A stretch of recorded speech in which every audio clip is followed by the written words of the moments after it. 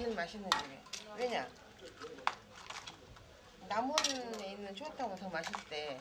그러면 우리나라에서 남원 추어탕이 제일 맛있다 그러거든.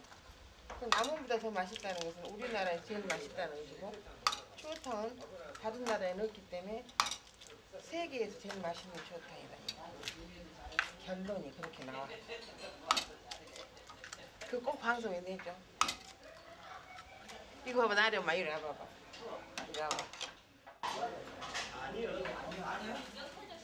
어머니는 퇴직하신 아버지와 함께 식당을 하고 계신다. 매사에 거침없고 적극적인 어머니는 어머니 가족의 이야기를 많은 사람들에게 알리자고 하셨다. 그리고 병석에 계시는 외할머니를 위해 이 영화를 빨리 완성하자며 영화 만드는 일에 앞장서셨다. 어머니는 외가가 뼈대 있는 집안이라고 늘 자랑스러워 하셨고 외할머니의 효행에 대해 자주 말씀하셨다. 외가에 많은 이모, 삼촌들 또한 외할머니의 효행에 관한 다큐멘터리를 만들어 보라고 했지만 난 매번 거절했었다. 몇 년 전까지만 해도 외가에 관한 다큐멘터리를 만들 것이라고는 생각지도 못했다.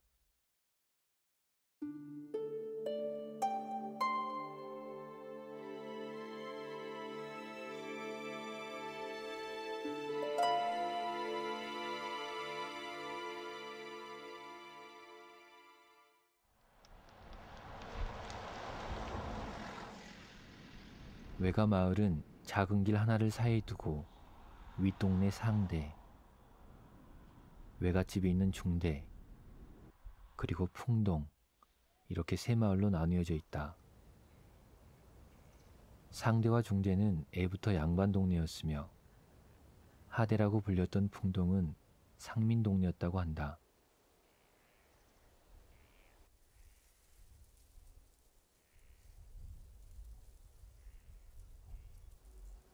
지금은 폐가가 되어버렸지만 어릴 적 외갓집은 나에게 커다란 궁전 같은 곳이었다.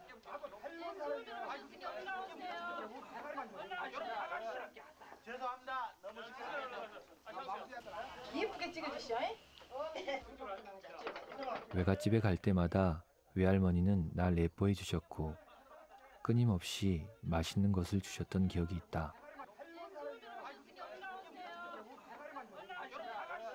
아니, 그러니까 내 말은 뭐냐면 무작정 좋은 분이요.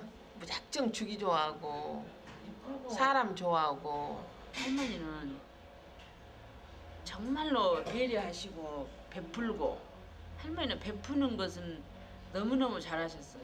할머니는 이 세상 모든 사람한테 다 잘하셨어. 그래 그렇다는 표현이 맞을 거이다.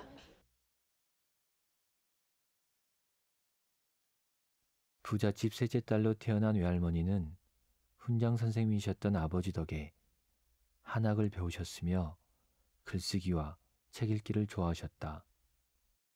오래전에 찍은 막내 이모 결혼식 비디오에서 외할머니의 젊은 시절 모습을 볼 수 있었다. 손님들을 대접하기 위해 분주히 움직이시는 모습은 내가 기억하는 따뜻한 외할머니의 모습 그대로였다. 난 외할머니를 무척 좋아했지만 외갓집에 가는 것은 그리 좋아하지 않았다. 외할머니 옆집에 살았던 작은 외할아버지 때문이었다. 이상한 냄새가 나고 항상 뭔가를 중얼거리시는 작은 외할아버지가 나는 무척이나 무서웠다.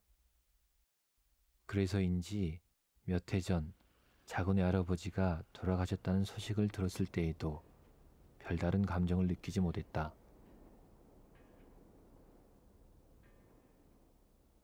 우연히 작은 외할아버지의 일기를 발견하게 되었다. 몇 박스나 되는 일기는 교회에 가서 찬송을 부르고 성경을 읽고 설교를 요약한 거의 똑같은 내용들이었다. 나는 이 이상한 일기에 대해 가족들에게 물어보았고 지금껏 한 번도 들어보지 못했던 우리 가족사를 알게 되었다.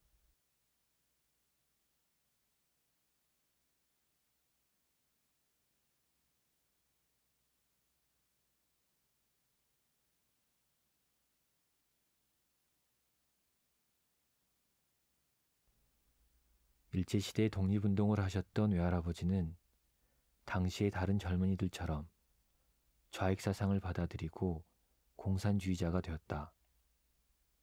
해방 후에도 정치 집회를 열고 경찰 지서를 습격하는 등 외할아버지는 새로운 사회 건설을 위해 노력했다. 그 조직이 그 세부적으로 된 것이라서 밤에만 활동해 밤에만. 그리고 저녁에 이제 그 등불 떠놓고 어, 자그 세소라 써서 띠- 띠라 같은 거리 써서 이제 연락을 하고 그렇게 연락을 써서 집회를 하고 말이에요 봉화를 또 산에다 봉화를 올리고. 그 그래가지고 이제 6.25 전쟁이 나서 이제 할아버지는 부여선 거예요 뭐 들으셨냐면은 농민회장 것이더만 농민회장 무상골수 무상분배요. 그 자본주의 자본가들 친일파 놈들 보니까 투쟁을 하니까 별거에 다 나와. 아주 기준품도 나오고 설탕 그때 교했거든. 설탕 같은 것도 그런 사람들은 먹고 살고 있더라고. 설탕 부대 같은 것도 막 이렇게 큰 자루차 같은 거 보면 뺏어다가 모두 나눠주고.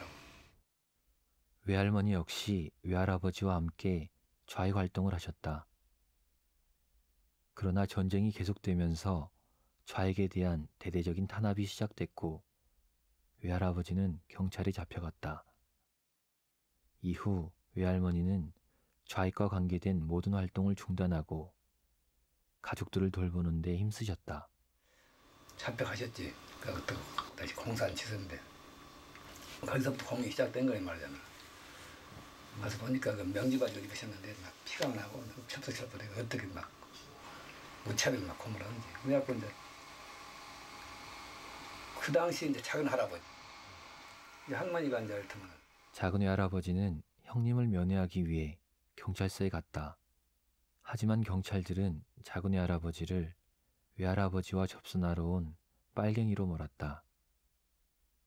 그곳에서 작은 외할아버지는 경찰이 쏜 공포탄에 정신 이상이 생겼다.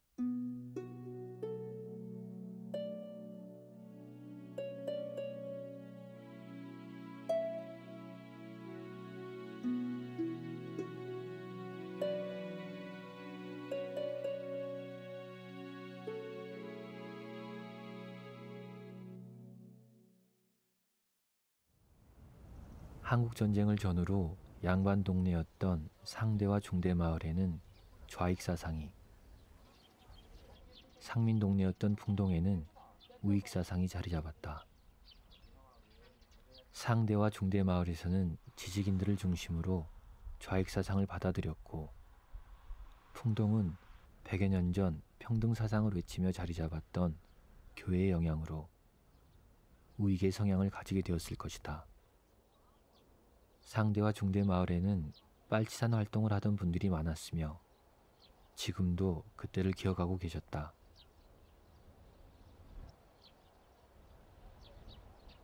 저녁에 뭐 와서 경찰님과 함께 어디서 와서 앉았는지 몰라. 비어린 자의 그거 좀 알았는데 뭐라. 압록강 구비구비. 그리고 쭉 했는데 잊어버렸어. 안 잊어버렸어 그게 말하자면 장백산 909번은 지금 말하면 운동권 사람들이 네. 하는 노래인 것 같아요. 그리고 이게 군가 장백산 저기 군가요, 키우진 군가. 장군 그쪽에 군가 예 장백산 저기 어디서 나가자 그 노래도 피어린 자 언니 알아? 왜 방송이라고? 그리고 야경은 사람들은 활동해.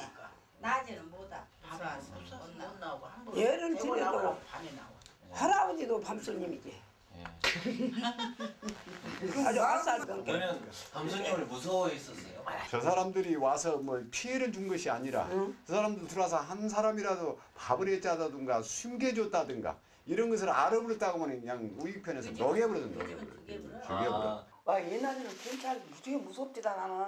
우리는 겁나 무사했어 어? 경찰만 큰집 보고 오빠가 다 반, 반머리를 쓴게 겁나 우리는 무사해서 순경 도로 말이야 무섭더만 무서웠어 옛날에는. 우리는. 옛날에는 경찰 모자만 쓰고 이렇게 탁 오면 무섭고.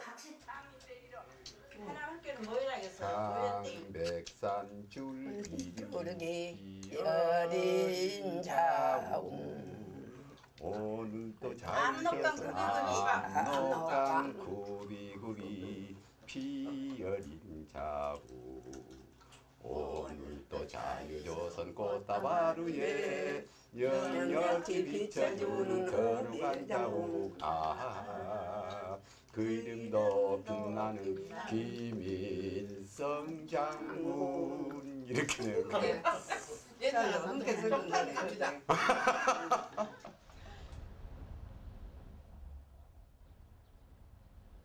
상대, 중대와는 달리 주로 우익 활동을 했던 풍동마을 어르신들은 그때를 어떻게 기억하고 계시는지 궁금해졌다.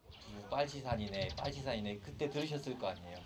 그러면 그러면 어떤 뭐 멀리하거나 적대감을 갖거나 이러셨어요 그때 당시에. 여기는 그 사람들하고 아주 멀었었어.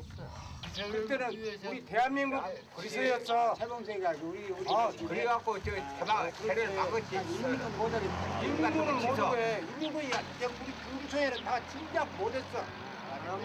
그때 이제 저희 외할아버지가 농민회장이라는 걸 하셨다고. 아, 맞아, 맞아. 그러면은 좀 관계가 안 좋으셨겠네요. 이제 인공의 농민회장이었고. 그래서 연금이가 걸렸다는 게 그때 연금이라고. 자네 애안하고 나보다 한살 젊은 거. 풍동의 어르신들은 좌익들에 의한 피해만을 기억하고 계셨다. 아 수보대고 막 사람들 비어 있다가 하면은 막 직접 그냥 그수보다 그냥 안한같이 조용하니까 그래갖고 내가 경찰 가정이 이제 뭐 우리 식구들이 하면 대창으로 막 찌개서 죽이고 막 그러고 이제 낚싯대하고 경찰이나 이제 그한 사람들 유득이 경찰은 다른 데로 무조건 나가다만 우리 고향은 지가 아버지가 지가 아들을 죽였어요. 그런 수가 많이 너무나 여기 사람들이 우익편에서 잔인했어. 자체가 자치 잡아먹었어요. 그 불 질러 본 것도 그 집 누구 인민군이나 그 자익편에 들어있는 사람들을 밥을 해주면 그 집 밥 해 줬다고 불 질러 본 것이 바로 우- 우익편에서 자익편에서는 그러고 다니거든. 유교사 다니. 지금도 전쟁이 일어난다면 그때 당시의 전쟁에는 개인 감정들이 많이 포괄적으로 보듬고 있어 지금도 개인들이. 마을의 어르신들을 만나면서 아직도 양반, 상민 간 갈등이 남아있다는 사실을 알게 되었다. 이러한 갈등은 한국 전쟁 당시 좌우익 이념 간의 갈등을 더 깊게 했을 것이다. 중대하고 상대하고는 이렇게 한 마음 마음이 같아. 근데 풍덩은 좀 틀리더라고. 마음이. 지금 양반 쌍놈 지금 텔레비에 나오면 안 되지. 그렇지. 그렇게 여- 그런 이야기는 이제 푼산은 하면 안 되지. 어, 여기다 넣으면 안 돼. 한국 사람들이 거기 막 카베팅 고생했다. 그래서 하지 마. 저 텔레비에 나오면 되게 어떤 소리를 하나 그런 것도 그딴 게 아니야. 그때 이게 어깨도 제대로 못 펴고 이쪽을 걸어 다니셨다고. 제가 그래 서 자세히 잘 들었구나. 풍동을 옛날에 이제 하대라고 불렀다면서요. 하도 예. 아, 저 하대. 저기야. 얼마나 어찌 살았길로 해서 너무 감에도 띠무도 댕기고 옛날엔 니저 인력거가 있잖아. 아직 동네 가서 있어. 예, 그런 게 예, 이름할라 해피가 하대. 옛날부터 이 동네는 하대올리, 하대올리 그러더만 하대올리 쌍놈들이라고 그랬어. 옛날부터. 근데 지금은 이제 똑같지. 그래도 지금 지금은 그래도 어딘가 모르게 있긴 있더만. 있긴. 지금은 그래 안 가지. 지금도 다, 다 네가 모르게 달라요. 말 한 자리 하는 것도 다 달라. 달라. 너무 다르더라고요. 지금도 달라. 다르지. 예를 들어서 지금 우리 입으로 어디 누구를 만나서 얘기하는데 하대우 찍으면 이거 주먹이라고 하고 책이라고 할 거야. 어. 구별이 있다 이 말이야. 내말 마이로. 양반 쌍놈 큰일 나지. 양반 구별이. 있은 게 상대 중대 하대인 게 풍동이라고 질 때는 오지 그냥. 좋은 쪽으로 들어가려고 그러지. 엄마 말도 그 말이여 내 말하고 같은 말이여 달라. 달단 소리가 그 소리가 지금도 어디는가 다르 이제 시시하고 사니까 그러지. 응.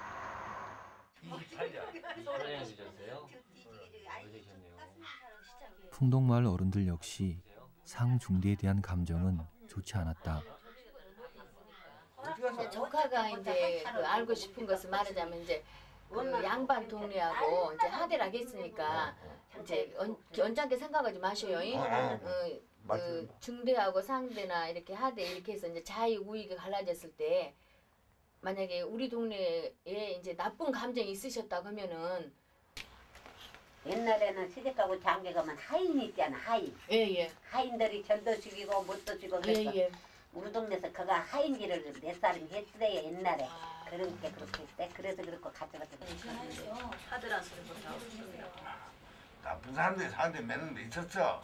저 아버지하고 동갑인데, 저 아버지 행정관인데, 저 아버지 그인데 보다 거야. 애기 나가 우물 가서 시금창 그 시한물 날아가는 거기다 버려갖고 거기서 애기가 뜬게 발견이 되어갖고 난리가 났지. 상대에서요? 내가 상대에서 났어. 호동머니가. 그러고 처녀가 애기 나 재면서 뻑대기서 거시가고. 우리 동네는 하대라고 하면 이때 그런 것은 예비, 예, 교회에 있고 그래서 철저해서 그런 일은 없어. 그러니까 양반들이 쌍놈 쌍놈이라고 그러지만 양반들이 행실을 그건 못하는 거야 또 주정 헌금을 드립니다. 드린 주하신 순결시켜서 복을 주시고 과거 주시옵소서. 우리 중 위해서 그리스도 만들어 기도하옵나이다. 아멘. 잠깐만 기도하지 마시고 하겠습니다. 그 다음에 이제 나주노의 참 여전도 연합회가 상중대 사람들은 진보적인 사상에도 불구하고 풍동 사람들을 천시했다. 또한 풍동의 교회를 쌍스러운 곳으로 생각했고 교회는 물론 풍동 마을에 가는 것조차 금기시했다.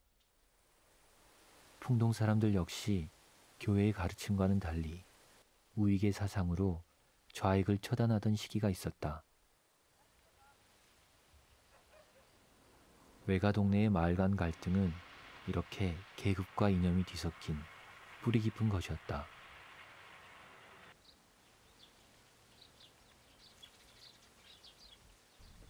신문을 신장반은 내가 또 아, 저는 저기 저 나종대 씨, 어, 나종만 씨 얼굴이 적합. 비슷하고 그렇게. 예. 그래서 이거 확실히 밝혀보려고 그 추접한 얘기는 할 필요가 없고 추접한 얘기는 하면은 부장 들어진단 말씀이세. 캐면 캐도 우리 뭐 여기는 짚은 얘기가 나올 수가 없어. 그런데 그것을 우리가 우습게 해서 짚은 이야기를 자네들한테 해주고 있다. 종살바 같이 이렇게면 끄집어다 부- 부려먹는다. 이제 이, 이거예요 이거 이제 이렇게면. 그 인재도 또 애가 많이 났어. 저런 사람 다 출세도 많이 하고 그래놓고 이제 그리고 오히려 저 사람들이 그 동네한테 그 일하지. 자네들은 그 무슨 취재를 하려고 된가 뭐냐면은 내말 들어봐. 그때는 그때고 이 천년에 했는 거야. 저런 것들은 우리말 사람들하고는 똑 거기다 밝혀. 비교할 수가 없어. 없는가? 멘치를 버릇이 그런 것만 해 퍼먹는 그런 인간들이야. 없는가? 또 취재해 올라가. 아싸리 말해 우리 이제. 지금은 쓸데없어. 지금 단골이 대학교, 백대이 대학교 지금 혁정보다 하수해? 아니 이제 이제 그것도 이제 그때는 좋은 일을 방송도 뭐또 이렇게 좋게 나오고 있게 우리 마을로 그래. 아, 알겠습니다. 알겠습니다.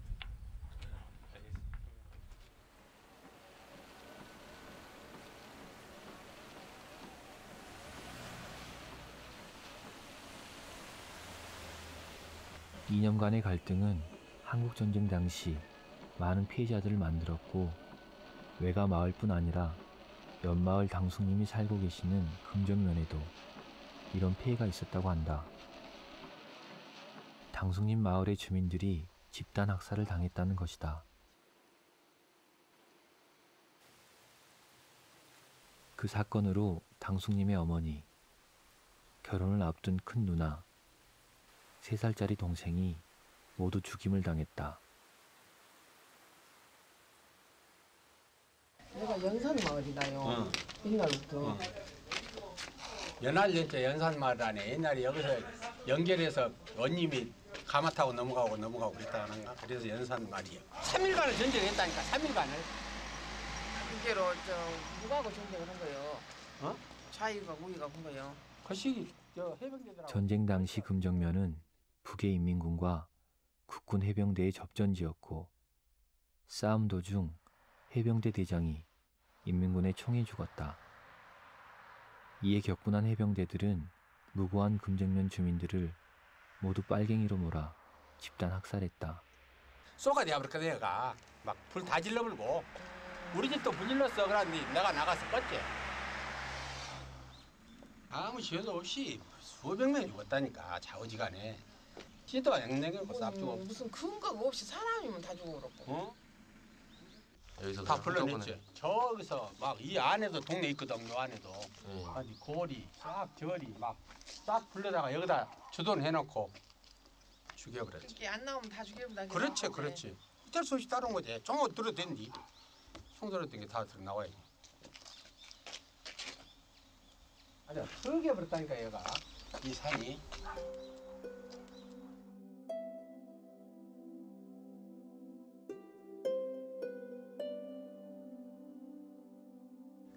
누나가 애기 데리고 있는데 큰 누나하고 애기하고 데려다가 여기다 요 도로공사를 쌓아서 죽여버리고 그래도 그때까지 전익에도 총을 안 맞았어 그 동시섰달에도 총 안 맞고 애기가 누나가 돌아가신 누나가 이렇게 좁은 통 안에 그냥 못 나오고 빠져 못 나오고 죽었지 소리가 우는 소리가 났다며. 났지? 그럼 어찌 안 데리러 갔을까? 야 가면 죽은 게 못 가겠지 전쟁은 언제나 많은 희생을 필요로 한다. 특히나 한국 전쟁에는 많은 민간인 희생자들이 있었다. 이들은 주로 지역의 농민들이었고 좌익, 우익 어느 쪽에도 동조하지 않은 채 하루하루 힘들게 살아가던 사람들이었다.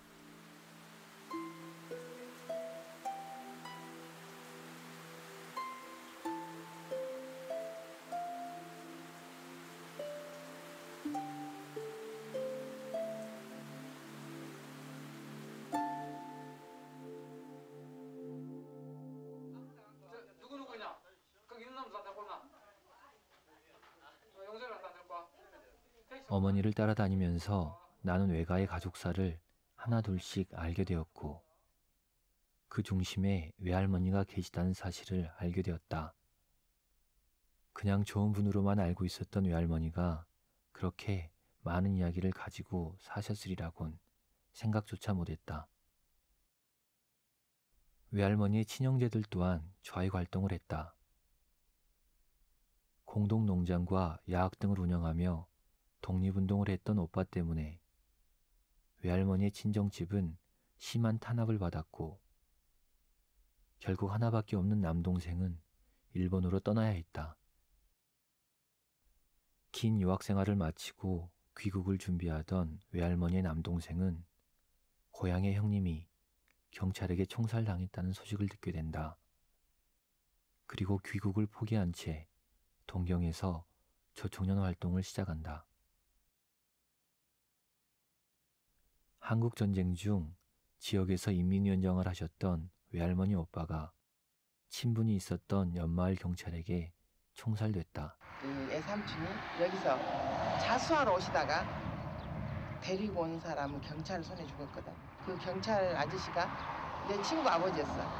그 양반이 말하자면은 그 어, 상, 이 상반이 나눠져 있을 때 민촌의 식구였는데 아무 감정, 개인적인 감정이 없었는데 경찰과 빤치사이라는 관계 때문에 그 친구 관계가 있는 그 양반 돌아가시게 했거든.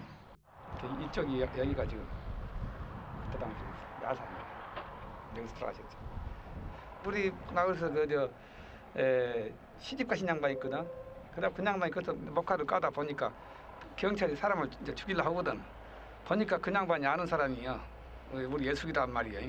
그 녀석이. 그러니까 보고는 이제 총을 쏴서 돌아가시니까 놀래가지고 집으로 바로 와서 연락을 했다 그 말이야. 그 양반이. 그래가지고 이제 연락해서 이제 그 양반 돌아가신 줄 알았지. 쏘신 분이 누구셨다고? 아니냐. 그, 또 같은 형사가 둘이 왔다 가더라고. 그러니까 요막 넘어가게 되면 거시기요. 소재지고 저 거시기 저 그때 그 당시 지사가 있었어. 네, 그러니까 바로 자- 자수 다, 와, 다 와서 돌아가신 거예요. 사서로 갔다가. 다 와서 진짜로. 음, 그러니까. 그러니까 억울하다 그 말이지. 외할머니는 친하게 지냈던 풍동 마을의 경찰에게 자수하러 가는 오빠를 부탁했다. 하지만 외할머니의 오빠는 경찰서에 도착하기도 전에 총살당했다.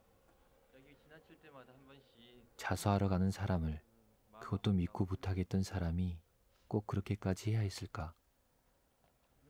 이념으로 인해 친구가 적이 되고 또 서로를 죽여야 했던 그 시대의 아픔이 나에게 확실히 다가오진 않았다. 아유, 안녕하세요. 예, 안녕하세요. 예, 예. 예.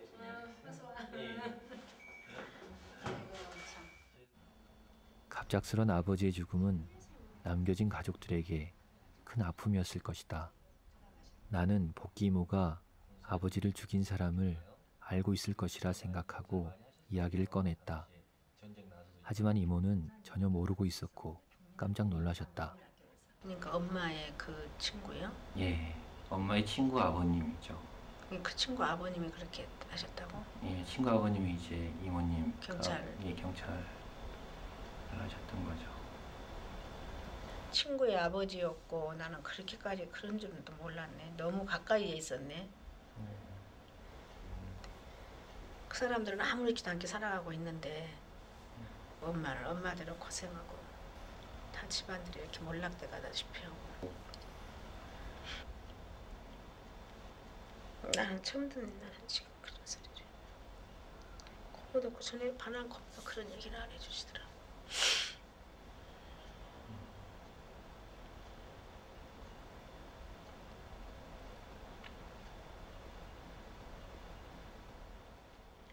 복귀 이모뿐 아니라 풍동마을 이웃들도 그 일을 전혀 모르고 있었다.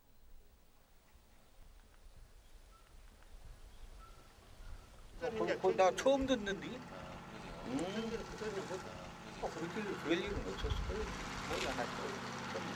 어, 나를 오늘 처음 듣고만 너 처음이. 그런 거지가 있었으면 어째 뭐 말이 안 나오니 바로 여긴디. 그런다고. 것이 있었으면 벌써 말이 났었을 것입니다. 처음. 그렇게 사람 그렇게 사, 사- 우리 응. 사람이 아니야. 그래. 아, 사람 남 수, 언니하고 참 그런 사람 아니고 그때는 그런 그런 아니야. 그럼 아니네. 응 아니야. 아니야. 응. 외할머니 오빠가 어떻게 돌아가셨는지는 우리 가족들만 알고 있었다. 왜 그러면 그걸 복귀모한테도 말씀 안 하셨어요? 그러니까 우리는 죄인처럼 아무에게도 말을 못했거든. 그 사실을 쉬쉬하고 복귀나 복귀 가족에게도 그런 말을 못하고 감추고 살았어 죄인처럼. 근데 또 모르 내 엄마도 모르실 거야. 본인만 알 뿐이지. 그렇게 아무도 모르게 쉬쉬하고 살았어. 지금 세상이 좀 바뀌니까 이런 말도 하고 이런 말이 나오는 거지. 그전에는 너무나 무섭고 그래서 죄인처럼 정말 감추고 살았어. 그런 사실. 친하게 지냈던 사람에게 오빠를 잃은 외할머니는 큰 배신감을 느끼셨을 것이다. 또한 일상 속에서 그분의 가족들을 만나면서도 아무 말도 못한 채 슬픔과 고통의 시간을 보내셨을 것이다. 어머니 가족과 대대로 친하게 지냈고 특히 외할머니와 그 집 할머니는 형님 동생 하던 친한 사이였다고 한다. 할머니는 그 집 식구들에 대해서 너무너무 많이 힘들어 하셨거든. 아주 죽일 놈 죽일 놈 하면서 나쁜 놈 나쁜 놈 그러셨는데 귀에 뭐 씨바퀴 들어서 어려서부터 그러면서도 그 사람들이 그 어머니가 이제 집에 오시거나 만날 일 있으면은 그냥스럽게 좋게 하시고 그러시더라고. 그때 그 속에 그 앙금이나 골맞던 마음들이 얼마나 아프셨을까 그런 생각이 들어. 참 힘드셨어 할머니는. 시대의 어둠에 눌려 묻어두었던 이야기를 이제라도 해야 할 것 같았다. 그것이 외할머니와 복귀 이모를 위로하는 최소한의 예의라는 생각이 들었다. 정말 한번 이기 한번 만나시지 않으실래요 그러면? 엄마? 근데 그 이야기를 한 번도 안 했어. 한가지 한번 해보시죠. 이제 이야기를 풀어나갈 수 있어. 내 입장에서. 자, 우리 지나간 일이고 우리는 좋게 살았고 어, 이런 일이 다시는 일어나지 않기 위해서 우리는 아들이 이런 걸 찍는데 에, 네가 다 느끼고 생각한 대로 이야기를 좀 해주라. 이거는 뭐 서로 잘했다 잘못했다를 떠나서 네가 아무도 피해자고 우리도 피해자이기 때문에 한번 짚고 넘어가 보자 이런 식으로 이야기하면은 흔쾌히 이야기해 줄 수도 있을 것 같아. 내가 그러면 다리를 나, 만날 수 있게 만나서 그 이야기를 할게.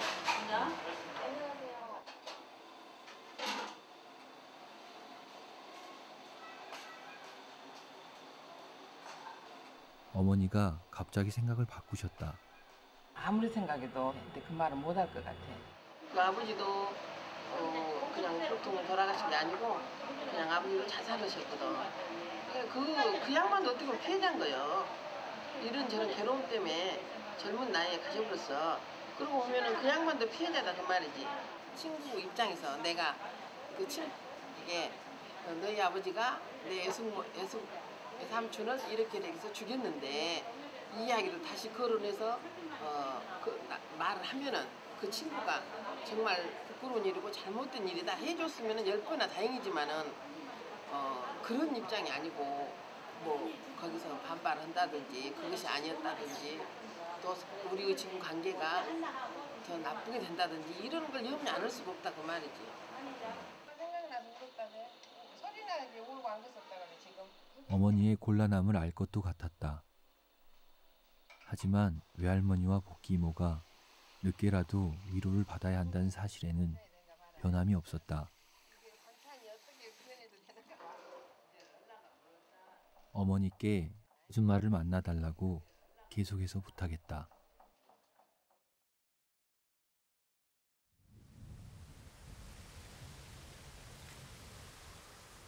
오빠의 총살 소식을 들은 외할머니는 빨치산 활동을 시작한 남편을 찾기 위해 목숨을 걸고 산을 뒤졌다.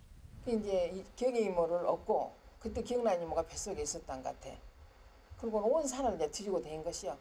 그 빨치산이 숨어 있다는 그 정보를 듣고 여기저기 산을 다 이제 헤매고 다니셨는데 만나셨어 할아버지를. 할아버지 만나셨는데 할머니가 가자고 그러시니까 할아버지가 요가하면서 안 가냐고 막 돌멩이를 던지셨던 것 같아. 할아버지가 막 죽이려거든 막 요가하면서 안 가냐고 막 그런데 어떻게든 남편을 살려야 되겠다 이렇게 생각하신 것 같아. 그러니까 그러려면 차라리 집에 와서 온 식구를 다 죽이고 가거라 이렇게 강하게 말씀하셨다 하더라고. 예, 기원치 거기서 할머니가 할아버지가 나오실 수 있도록 가지고 거기서 강하게 나오셨는가 봐. 할아버지가 할수 없이 나오셔갖고 자수하셨어. 외할아버지는 자수 뒤에도 모진 고문과 후유증 그리고 외할머니에 대한 원망 때문에 평생을 술로 사셨다. 당신 말은 항상 제 옆에 있는 애 때문에 그랬다고. 내 어려서 듣기로는 제 옆에 있는 애 때문에 내가 이러고 살아갖고 이 고생이다고 맨날 그러셨는데 그 어정쩡한 상황에서 당신이 갈 곳이 없었던 것 같아. 그래가지고 어, 술을 잡수기 시작한 것 같아. 내 생각에는. 그냥 술에 대해서는 말할 수 없지. 그 기억은 정말로 기억 안 하고 싶은 그런 테이프가 끊어졌으면 좋겠다 할 정도로 술을 즐겨 드셨으니까. 할아버지가 화가 나시면 항상 할머니는 부엌 문고리를 잡고 계셨어. 도망가려고. 나는 항상 어렸을 때 그런 기억이 있지. 할머니 막 머리채 잡아가지고 막 벽에다가 할머니를 막 이렇게 찍고 막 화가 나시면 술 드시면. 할머니가 고생을 많이 하셨지 그래서 근데 그 와중에 할머니가 너무 고통스러운 거예요 이제. 우리도 아버지가 안 계셨으면 할 정도였으니까. 할아버지도 한때는 맨 전말로 하더만 뭔 아버지가 안 계셨으면 쓰겠다고 나는 그거 난 정말 그랬어. 이거 죄스러운 말이지만 그 대단히 지- 누구한테도 내가 말 안 하는 비밀이기는 해. 근데 이제 이 양이 이렇게 말을 하니까 다른 사람을 괴롭힌 게 아니라 할머니를 괴롭혀. 그러면은 뭐 차라리 안 계셨으면 저 어머니가 더 편하지 않을까 이런 생각을 했었다고. 사랑기에서 못 살겠어. 그러고는 딩게디병을 터져도 술을 하고 잡잡고 사랑기에 못 산다는 것이 그 일이 또 딱 생각해. 자식이 아홉이나 얼마나 너무나 짠하게 살아가겠어 우리 시숙도. 자식이 아홉이나 돼야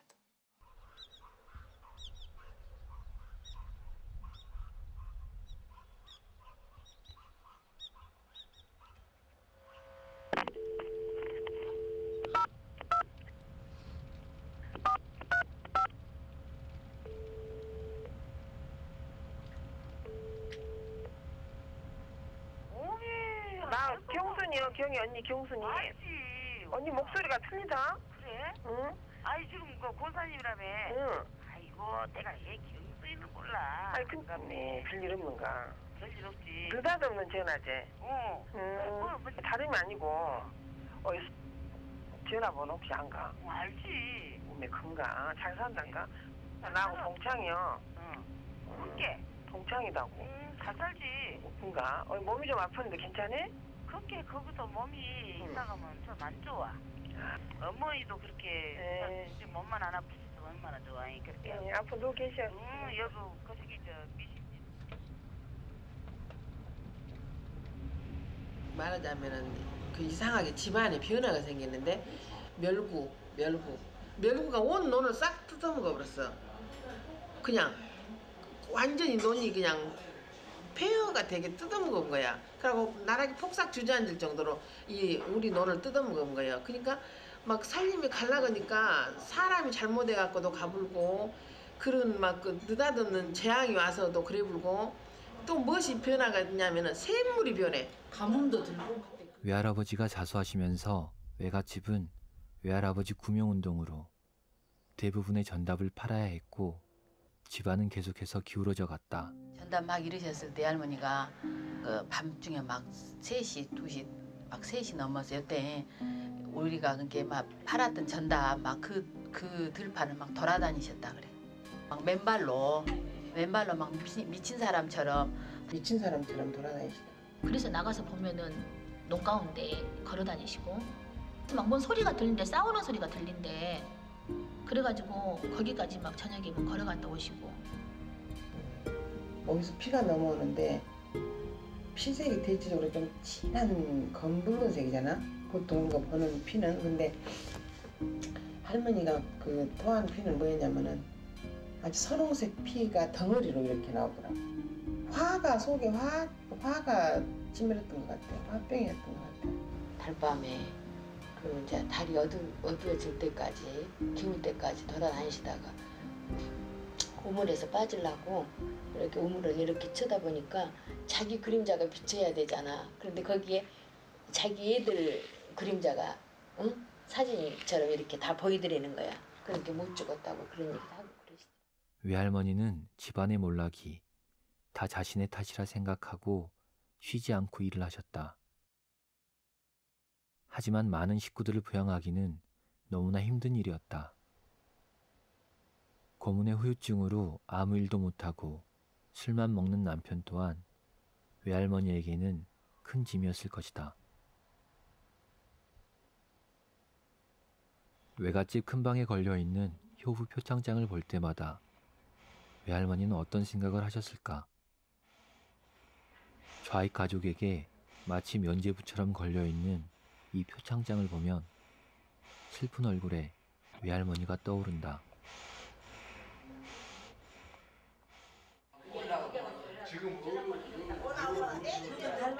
아이 같이 먹자 이러나 진짜 보고 싶어. 그런 분이 안 아프고 우리 불알에 계셨다면 해관에도 분위기가 달라졌을 거예요. 우리 어머니는 너무너무 서운해. 내 할머니는 그 눈물 나오려겠다.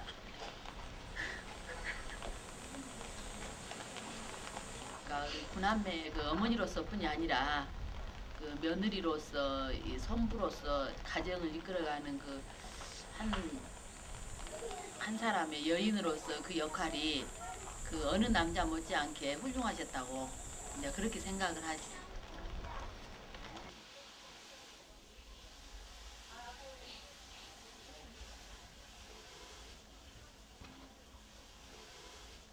시아바이는 건강이 제일이야. 예, 우리 시아버지는 건강하게. 고생한다. 어른 어른들 모신 사람이 고생이 많네. 딸들이 다 소용이 없네. 예. 응. 커야 이제 지금 살고만 있는 것도 그렇게 생각해라. 여기 있는 지가 몇 년인가? 말 못하더만 나중에 우리 어머니도. 7년. 그래. 우리 어머니도 7년 만에 돌아가셨는데. 응, 아이고.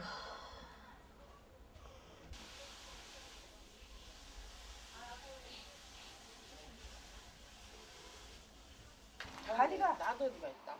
저한테 쓸데 없어. 다 비워야겠네 응? 이것도 비워. 아니요 이것은 나고 크면 지금 안 비워.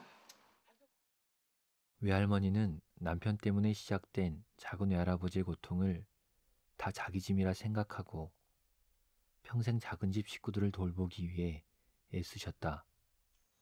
형님하고는 둘도 모르게 살고 아주 더 좋게 살 수가 없어. 꼭 친정 엄니만이로 그렇고 좋아 죽겠어 내가 시집온 게 성님이 뭔 일도 성님 해볼까비 내가 얼른 해보라. 그러면 당신이 또, 또 내가 아까비 얼른 해보고 형님은 개밥 주고 돼지밥 주면 항상 지은 내가 지는 거예요. 그러고 살았어. 말도 못하게 좋고 어머, 어머니 같더라니까. 그래가지고 하지만 작은 외할머니는 정신 이상이 생긴 작은 외할아버지와 함께 남은 인생을 고통 속에서 살아야 했다. 지금도 가만히 생각해 보면 어찌 내가 이 구신 놈 새끼가 나도 모르겠다. 내가 그래 살고도 또 고난 받은 것도 장남자한테 말로는 할 수 없어. 미련은 차도 아주 못 살겠어 가심치고. 상당히 이제 날카롭고 어떻게 나쁘게 표현하면 뭐 짐승 같은 그런 어떤 행동도 많이 하시고 그랬는데 포마드 기름 단정하게 머리를 아까는 닥터스를 단정하게 하고 다니셨잖아. 항상 뭐에 쫓기시는 것 같은 그런 느낌이 들었어.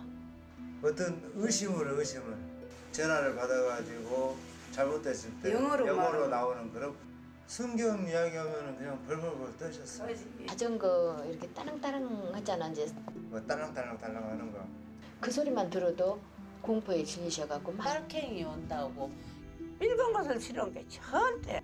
근데 붉은 것이라면 직살인 게 피해에 대한 그 공포 때문이지. 인공기가 좀 빨간색이잖아. 그러다 보니까 그 거기에 대한 그때 그 피해. 빨간색을 싫어하셔가지고 카네이션도 빨간색을 못 드렸어. 그래서 내가 항상 흰 걸로 접어가지고 하얀 장미를 꼭 카네이션을 선물했었어. 막 사태에 물러가라고 막 춤받고. 왜 사탄은 물러가라 그래. 사람한테만 춤을 덱덱 받고 물찍 흘고 말도 못해. 가래 춤을 어, 탁저 가래 춤을 나 받아 나를 방에도 안 껴놓고. 그래갖고 퇴 퇴. 사람을 못하게 우리 집을 누가 사람을 뭐 이러고 못하. 난 말로는 안 나왔어 다 잊어온 거 보고 아주 그때 쟤는 또 오지고만 한 권에 해서 간다 엄마가.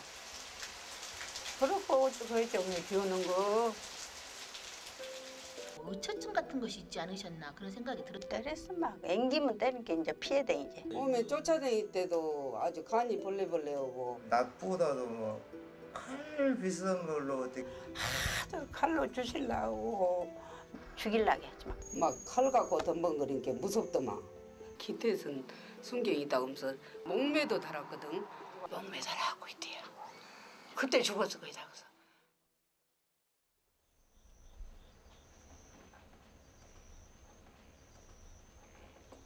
거시기 세양등으로 가서 꼭 나 그 한 번 했다. 세양등으로 가서 그 세주를 한 병 갖고 먹고 내가 죽어버렸구나. 노약을 갖고 우리 곡간을 가서 한 번 죽어볼거나 이 얘기가 더러 나온다야. 그러게 한 50년을 사셨네요. 그건 같이. 그러니까 나도 가만히 생각하면 어메 나도 증언 여인네 하루도 백년 같지 않았냐. 근데 그렇게 살았어야. 정신 이상 후 작은 외할아버지는 스스로를 자해하고 가족들을 위협하며 그렇게 험난한 삶을 사셨다. 나는 작은 외할아버지의 일기가 궁금해졌다. 2시 3시 뭐 일어나시 그때는 몰라도 그때부터 이제 혼자 이제 계속 신앙 그 성경 읽고 찬송하고 성경 읽고 찬송 뭐 하나님을 100% 내가 뭐 이렇게 신뢰하고 뭐 완벽한 그런 신앙생활이 아니고 그냥 불안감 때문에 뭔가를 붙잡고 싶은 마음에서 그렇게 교회에 매달리셨던 것 같아. 내 기억에도 항상 새벽 3시면 가서 종치고 그러셨거든. 아 할아버지가 종을 치신 거예요? 할아버지가 종을 치셨어 교회 종을. 아, 종을 눈만 뜨면 가서 교회 종을 치시는 거야. 이렇게 새벽 3시면 가서 치셔본다니까. 4시에 쳐야 되는데. 이게 당신 눈 뜨면 가서 쳐보라 종을.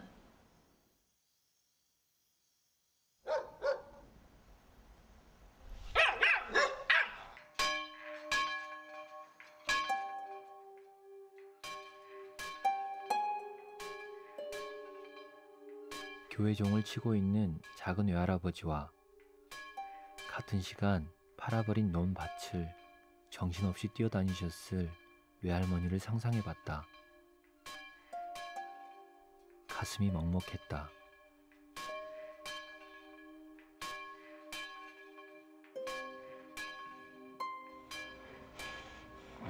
정신 이상이 생긴 뒤로 얼마 되지 않아 작은 외할아버지는 지울 수 없는 사건을 저지른다. 그리고 그 사건으로 인해 작은 집의 모든 고통이 시작되었다는 사실을 나중에 알게 되었다.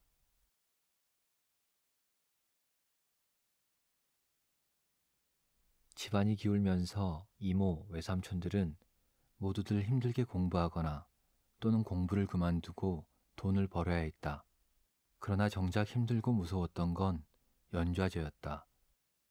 좌익 가족들을 무조건 빨갱이로 몰아 사회 공적으로 만들었던 연좌제로 인해 가족들은 피해를 입었다. 학교 선생님이셨던 큰외 삼촌은 박정희 정권 당시 교직에서 물러난 후 다른 직장을 구하지 못하고 고향에 내려와 지금까지 농사를 지으며 살고 계신다. 근데 그게 좀 영향이 있었던 건가요? 당연히 있었겠죠. 영향은 얼마나 있었겠냐?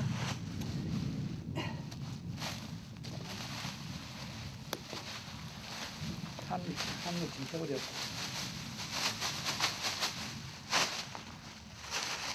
이게 이래 그러니까 지금 지금도 지금도 그 있다가면 색깔론이 나오잖아. 그 이용 이용을 하고 있잖아 지금도. 워낙 워낙 많은 상처를 입었어. 대명천지 뭔 말을 거냐. 인간답게 살지도 못하고. 나 같은 경우도 직장에 들어가는데 상당한 그런 경험들을 많이 했지. 신혼조에 나와서 아, 저집 저집 가족들은 좌익을 했던 가족들이야. 그런 얘기를 들었고 그래서 항상 불안해했었고 그래서 연좌제라고 하는 그 굴레를 우리 가족들이 다 벗어나지를 못하는 그 틀 속에 살아왔던 그런 세월이었지 않나 생각이 들어진다.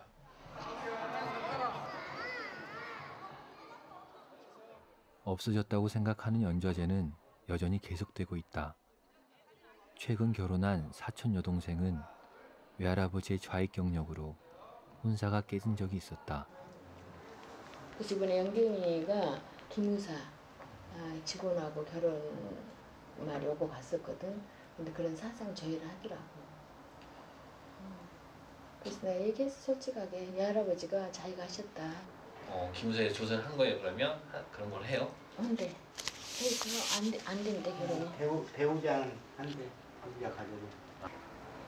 그래서 지금도 그래. 네가 이제 뭐 이거 다큐멘터리 하니까 그 관계가 있으니 말하지. 그러면은 굳이 영혼의 뭐- 송지제. 뭐 말할 필요도 없었고 사실 자랑스러운 것도 아니고.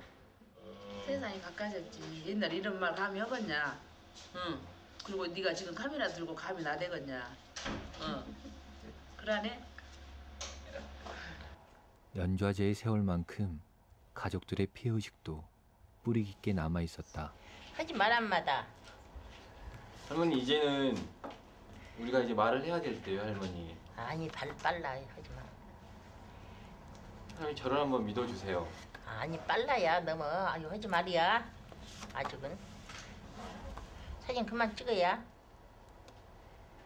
예.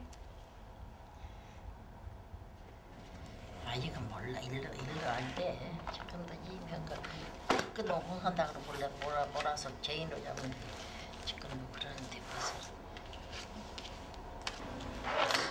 또 웃겨버렸지라 한나라당이 대통령이라도 되어가라 손도 보시고 살자.